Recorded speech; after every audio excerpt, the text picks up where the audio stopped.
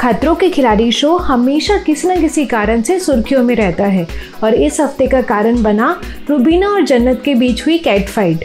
Hello दोस्तों, मैं हूँ आपकी स्टोरिकल मोनिका और आज मैं आपको बताऊँगी कि कैसे बना रुबीना और जन्नत की वजह से खतरों के खिलाड़ी के सेट पर बिग बॉस जैसा माहौल।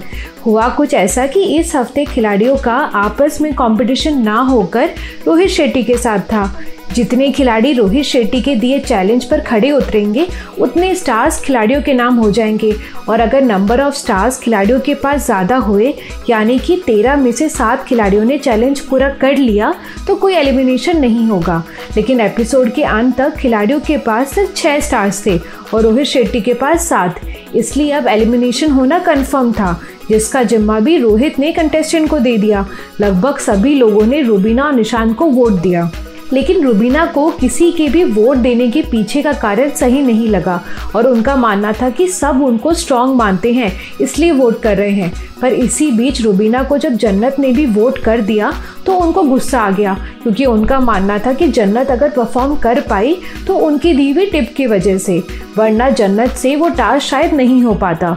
वहीं दूसरी ओर जन्नत को रुबीना का बार बार उनकी परफॉर्मेंस का क्रेडिट लेना पसंद नहीं आया, और वो रुबीना के साथ बहुत ज़्यादा रूड हो गई, जो बात किसी भी फ़ैन को रास नहीं आई।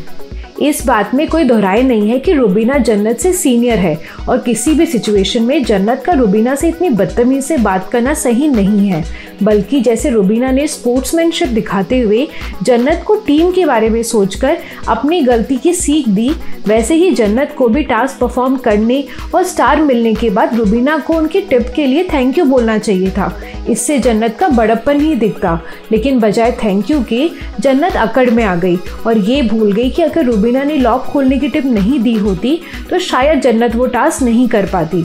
और ये बात भी किसी से छुपी नहीं है कि जन्नत ने चैलेंज पूरा नहीं किया था। रोहित ने तो बस जन्नत के टिके रहने के लिए स्टार ऐसे ही दे दिया। और रूबीना ने टिप नहीं दी होती तो जन्नत शायद उतना भी नहीं कर पाती। लेकिन जन्नत ने ये बोला कि रुबीना दो दिन से लगातार उनको अपनी हेल्प के लिए जता रही है। तो फिर रुबीना भी अपनी जगह गलत है, क्योंकि बिहाइंड द सीन क्या होता है हम भी नहीं जानते।